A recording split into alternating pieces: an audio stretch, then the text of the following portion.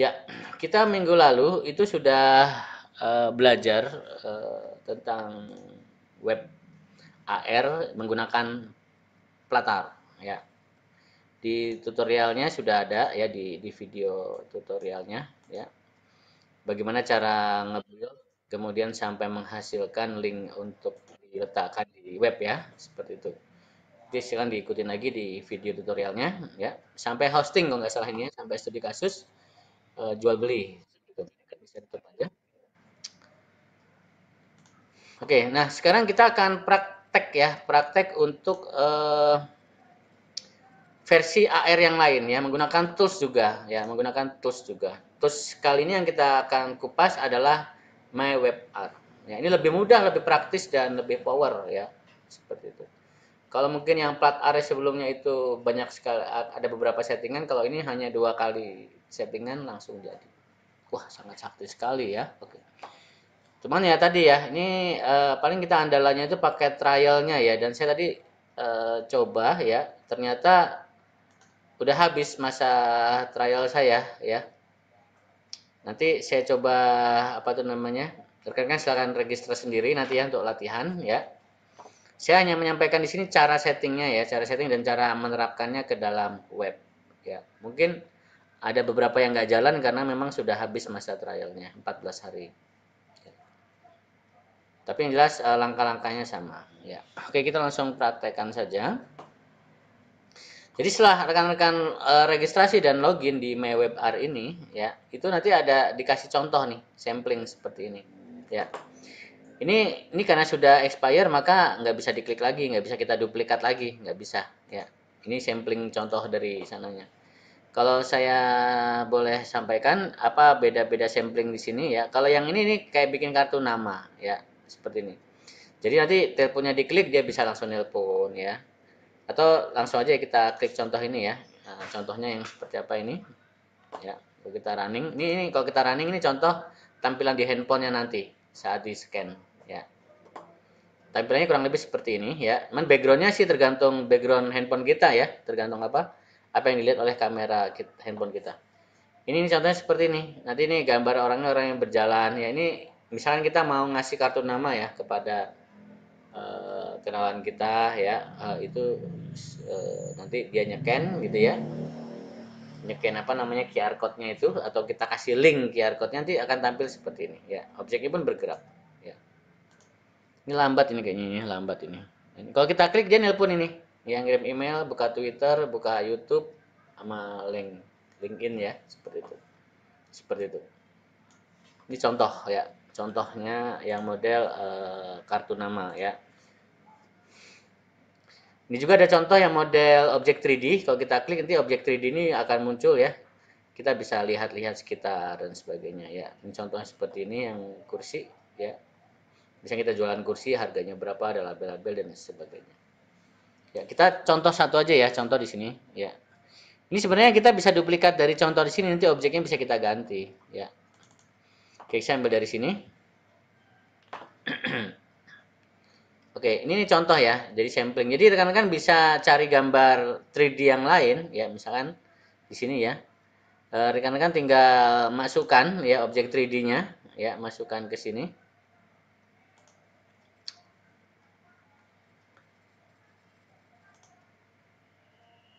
Ya, jadi kalau ada objek 3D nanti rekan-rekan tinggal drag ya, nanti masuk kemari. E, nanti diatur nih ya untuk khusus objek 3D itu pengaturannya harus eh, hati-hati di sini ya. Jangan sampai dia di bawah. Nanti kalau dia di bawah kesannya nanti dia e, di bawah lantai ya. Jadi pastikan dia di atas lantai seperti ini. Simak nih. Ada gambar ya bacaan-bacaan juga ya. E, kita bisa apa tuh namanya? Masukkan gambar di sini ya. Kita bisa drag ya dari luar masuk ke drag sini juga bisa seperti itu. Atau bisa juga kita klik tanda plus ini bisa ya. Kita oh ada gambar baru nih. Klik tanda plus ya choose file. Masukin gambarnya apa ya seperti itu. Misalkan saya ada gambar uh, ini. Misalkan contoh ya. Oke okay, coba berapa ini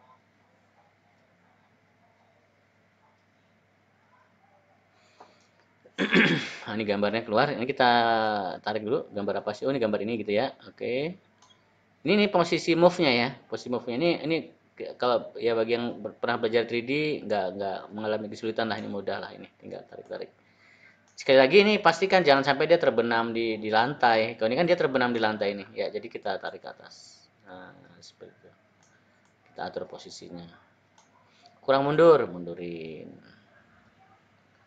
Ya, seperti itu. Oh geser ke samping geser ke samping. Nah diatur intinya. Seperti itu. Nah seperti itu. Kita atur objek 3D nya ada lagi tanda plus ya tanda plus lagi cari ya. Bahkan bisa juga video di sini kita taruh video kecil ya. Audio atau teks ya. Masukin teksnya saya masukin teks di sini ya. Teks nanti bisa kita edit ya skalanya dan sebagainya ya. E, kursi ini juga saat kita klik misalkan ya saat kursi diklik ngapain nih? Misalkan gitu ya ada bacaannya apa nih? Navigasi to URL misalkan saat dia diklik. Masih diklik dia uh, lari ke ke mana nih? Ke YouTube misalkan gitu. Kita kasih linknya ke youtube.com misalkan ya ke youtube.com halaman baru oke. okay. Nah, seperti itu. Artinya mudah ya, artinya uh, kita tinggal menyiapkan objeknya, gambarnya atau tulisan-tulisannya. Ya, oh ini kurang gede tulisannya. Kita bisa perbesar, ya. Kurang geser, biar nggak nabrak. Nah, geser lagi, misalkan ya. Kursinya juga mau saya besarin, misalkan juga bisa. Ya.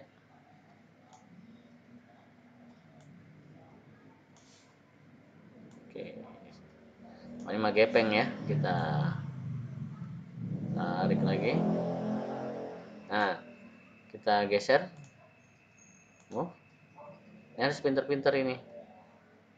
Atur posisi ya.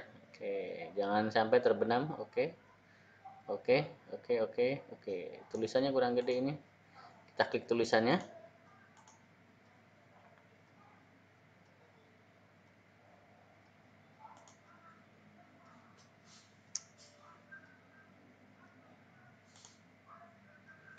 ya ini agak lambat. Karena makin banyak objeknya makin berat ya ya oke. Nanti di sini kita bisa tes running dulu kayak apa sih tampilannya dia uh, saat dijalankan seperti itu. Saat dijalankan di handphone dan sebagainya ya. Oke seperti ini seperti ini seperti ini. Nah kurang lebih nanti hasilnya seperti ini. Nanti kalau di handphone kita bisa putar-putar ya. Tadi waktu kursi diklik dia akan ngelink ke YouTube ya. Nah ini dah terbukti jalan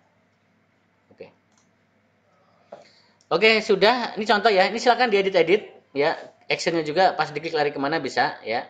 Setelah ini jadi rekan-rekan, eh, kita publish ya. Publish itu supaya dia masuk ke servernya. Ya, masuk ke, ke servernya dia. Ya, bisa dipublish. Ini kita dapat dua link. Ini kita copy linknya ya. Kita download QR-nya. Sama kita buat embednya. Ini contohnya ya. Oke, kita buat embednya coba. New kita buat di sini tadi di webinar form lat 1.php saya buat lat 1.php saya kasih embednya tadi ya. Oke. Ini kita lihat dulu apa ya masuknya masing-masing ini. Oke lat 1.php sudah kita publish sudah kita download QR-nya juga sama. Nah apa sih maksudnya QR di sini? Jadi nanti uh, untuk memudahkan ya saya kita jual suatu produk QR ini bisa kita tempel nih di poster. Sehingga nanti handphone nggak usah install apa-apa, cukup dia nyekan QR ini, nanti di handphone tuh langsung e, ngelink ke kursi tadi. Ya, jadi langsung dia tinggal melihat muncul 3D-nya langsung di situ. Keterkaitannya dengan web AR gimana? Yang kita pakai embednya inilah. Ya, jadi nanti kita embed nih, ini web AR-nya nih. Ya. Kita coba panggil localhost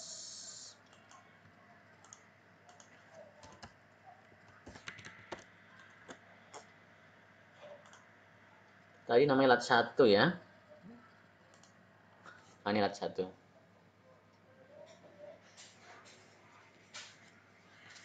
Oh ini bentrok ya, kameranya bentrok. Saya matikan dulu kamera yang bawaannya ini, bawaan zoom. Oke, saya refresh kembali. nah, ini ini ini contoh uh, web area di web ya. Nanti kalau dibuka di handphone pun bisa dia ya. Dia bisa. Kita coba uh, kita kasih QR.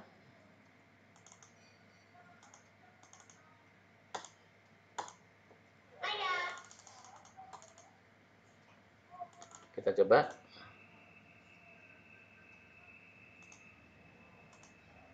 Oh dia bergerak. Bentar, ini kayaknya belum pas ya. Kita coba kita refresh kembali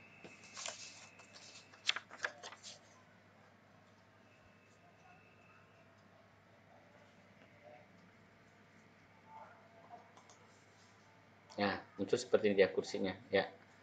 Ini e, kalau di handphone kita bisa putar-putar ya karena kalau di sini kan di web ya nggak bisa diputar-putar. Nanti pas di handphone dia akan berputar putar. Contohnya seperti itu.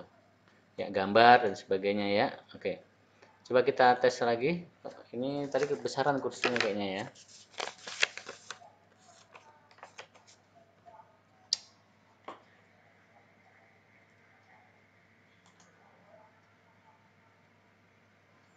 Ya ini gambarnya lebih kecil ini.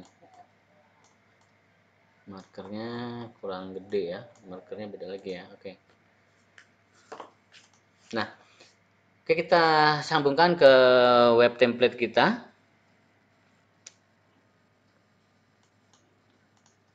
ya artinya gini ya setelah kita dapat apa itu namanya link tadi ya link daripada web art ini tadi ya embednya gambarnya ya nah ini kita tinggal masukkan ke template web kita ya nanti dia langsung muncul waktu di scan oleh handphone QR-nya dan sebagainya ya jadi ini sebagai alat bantu untuk mengenerate ya oke kita buka di Bootstrap ya Tadi saya udah download Bootstrap. Ini contoh Bootstrap. Kayaknya bagus nih di handphone juga bagus. Kita coba edit Bootstrapnya. Ini Bootstrap 5 album ya kita ambil Bootstrap 5 album. Bootstrap 5 album. Oke, kita copy. Tadi saya letakkan ke ke SAM ya tadi saya ada SAM webinar aja saya gabung webinar hari ini oke masuk kemari ini saya ganti dengan nama album.php saya edit. Kita tes dulu. Oh ini linknya salah ya. Dia linknya ke aset ya. Asetnya di luar sebabnya. Oke saya balikin dulu asetnya. Ya kita panggil coba. Localhost webinar kita lihat album. Oh ini indeksnya tadi ya. Album.php nah jalan ya. Templatenya sesuai artinya ya. Di di mobile pun uh, tampilannya pun uh, enggak enggak enggak enggak rusak ya. Pas lah seperti itu. Nah misalnya gambar kita ya. Oke. Okay. tadi kita sudah punya gambar ya. Kita coba contoh gambar kursi ya cari contoh gambar kursi tiga dimensi. Contoh ya ceritanya kita mau jualan kursi ya contohnya ya. Oke contoh sofa. Kursi sofa tadi ya contohnya kursi sofa. Kita ambil aja contoh gambar kursi ini aja deh ya.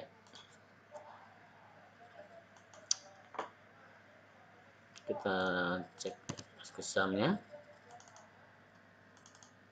kemudian tadi webinar hari ini kalkulator tadi. Gambar saya taruh di folder img kursi.jpg oke? Kita masukkan ke gambar yang pertama ya kursi.jpg tadi contoh webnya itu kata-kata this weather pertama ya oke. Nah di sini kayaknya sih pas nih Oke, di sini kita kasih gambar yang pertama. gambar pertama itu SVG kalau nggak salah dia ya. Dia SVG nih kayak ini. SVG ini sampai SVG ya. Hmm, gambar ya coba gambar gambarnya mana cara ganti gambarnya ini SVG gambar SVG JPEG nya bisa nggak kita ganti JPEG di sini? Coba. Img kursi.jpeg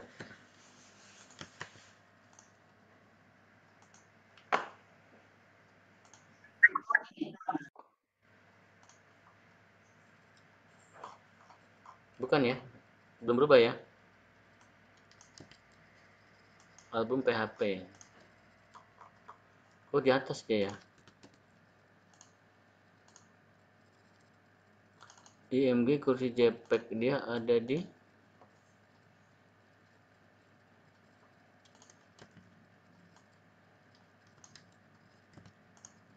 mungkin IMG SRC aja ya. Nah tembak aja gini contoh aja ya. Nah ini kursi. Jadi pas kita klik kursi ini nanti uh, dia akan uh, buka ya buka linknya ya. Oke viewnya viewnya ini kita ganti ke QR ya. Coba kita ganti ke QR kita pakai gambar baru aja. Kita kasih coding open dialog. Buka URL ya. Ini contoh penerapan aja ya rekan-rekan ya. Oke uh, kita bikin ahref-nya pas dia diklik ya ahref-nya ngelinknya.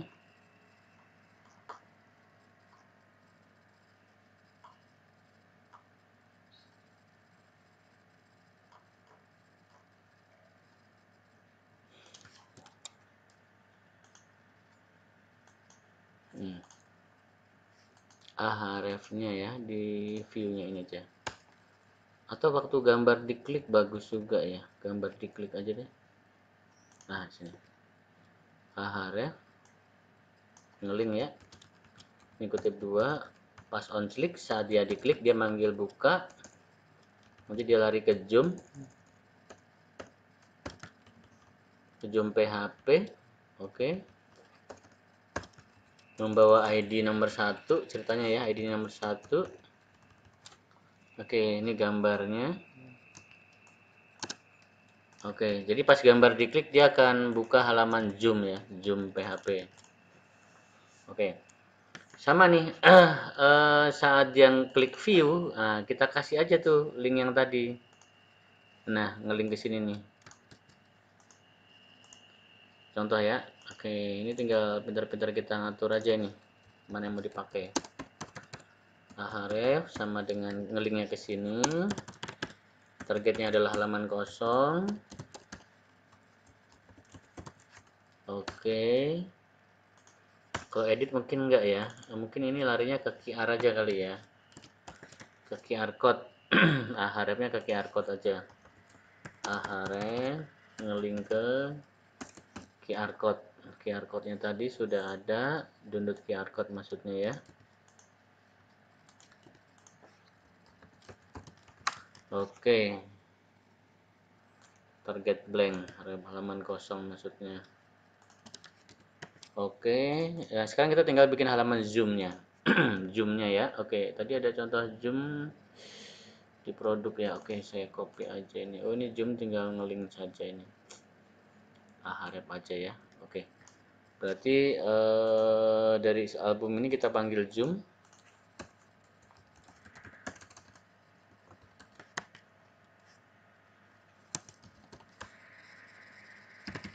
zoom itu cuma manggil ini ya manggil eh, halaman embed ya embednya ini nih.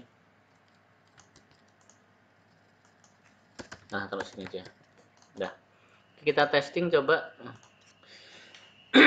Jadi saat ini kita klik dia manggil halaman baru. Ya halaman baru ini memanggil browser ya embed. Jadi uh, kalau di handphone kita saat muncul di handphone diklik dia manggil browser ya. Oke ini bentrok sama ini. Uh, saya matikan aja uh, kamera yang di zoom ulangin lagi.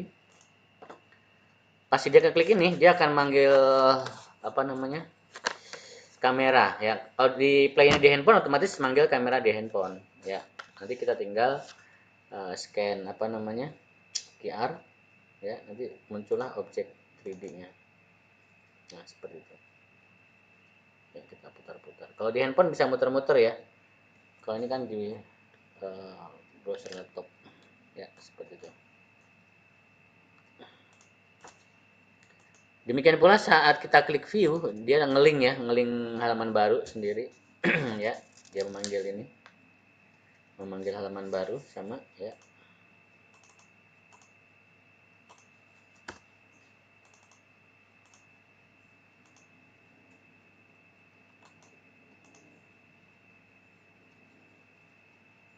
Ya.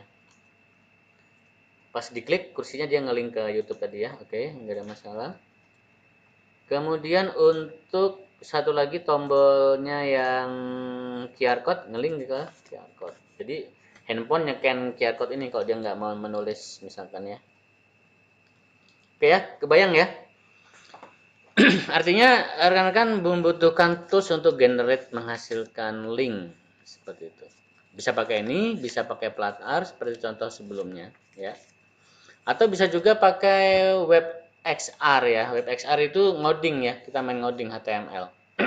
ya kapan kita akan kupas juga lah ya. Karena kan e, ada beberapa yang boleh tuh kalau untuk aplikasi skripsi misalkan ya tugas akhir kadang nggak boleh tuh kok pakai tools yang mudah gini seperti itu ya udah mau nggak mau kita ngoding ya ngoding lebih dalam lagi tentang uh, canvas javascript ya sama socket IO oke saya kira itu nggak ada masalah. Artinya mudah ya nggak ada masalah ini. Ini kita akan memenuhi materi minggu lalu ya meneruskan materi WPR artinya mudah ya AR itu ya tidak tidak sesulit ataupun tidak serumit yang kita bayangkan sebelumnya. Ya sekarang udah tren lah ya udah tren seperti itu